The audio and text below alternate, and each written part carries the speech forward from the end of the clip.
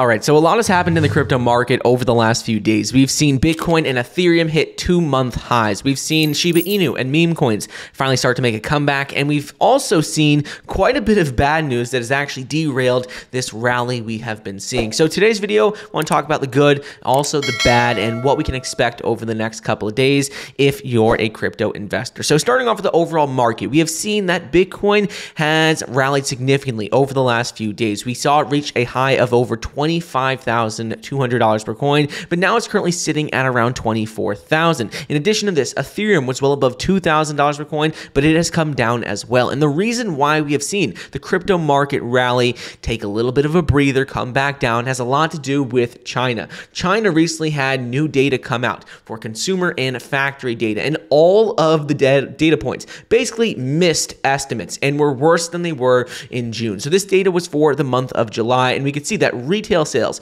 grew by 2.7% in July from a year ago, but estimates and forecasts had predicted 5%.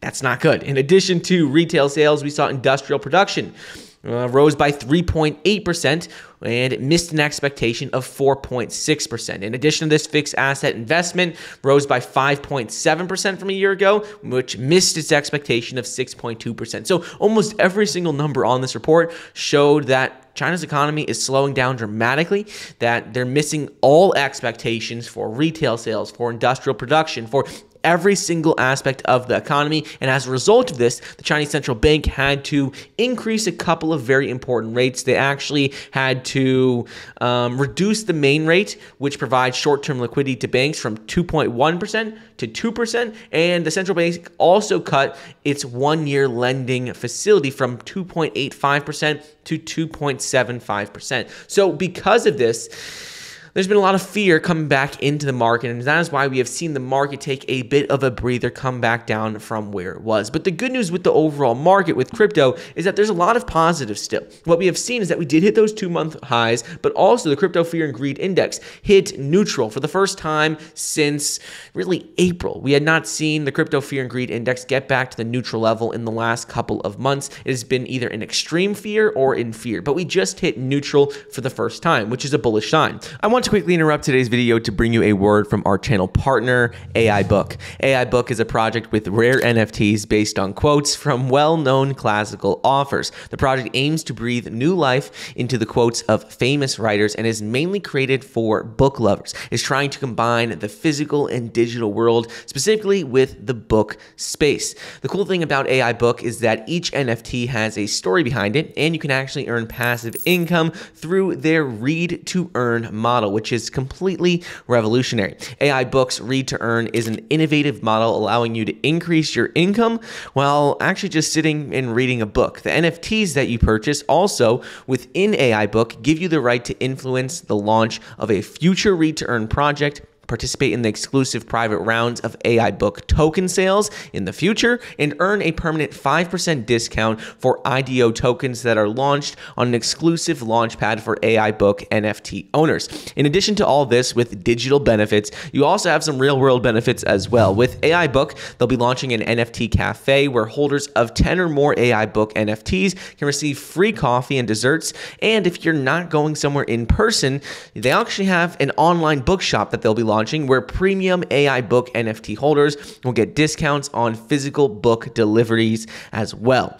This is a very cool project, in my opinion, that is trying to combine both the real world and the digital world. So you're definitely not going to want to miss out on this. Sales are going to be starting on the 20th of August for their NFTs. It's limited to a thousand NFTs at 35 USDT. But if you miss the whitelist sale, which is taking place in August, there will be a public sale with 6,000 NFTs starting on the 1st of September, but the min price is going to be significantly more at 50 USDT. To participate in the AI book whitelist, check out the link in the description. Let me know your thoughts on this project, but I definitely think it's worth checking out. Also, don't forget to follow them on Twitter and join their Discord so you can stay up to date on everything going on with upcoming giveaways and launches. Anyways, let's get back to the program. Other thing that's bullish is that meme coins like Shiba Inu have finally started to rally. Shiba Inu over the past weekend was up over 30%. Dogecoin was up oh, double digits as well. And this is a sign that people are getting back into risk on assets that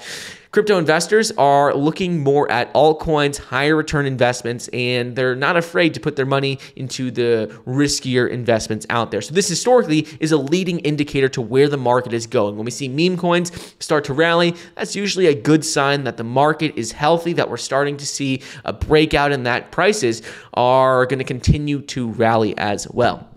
Other thing that's been happening in the market that I do want to talk about is from institutions, which is also good. Skybridge Capital, their uh, founder, came out and says that he expects Bitcoin to hit $300,000 per coin in the next six years.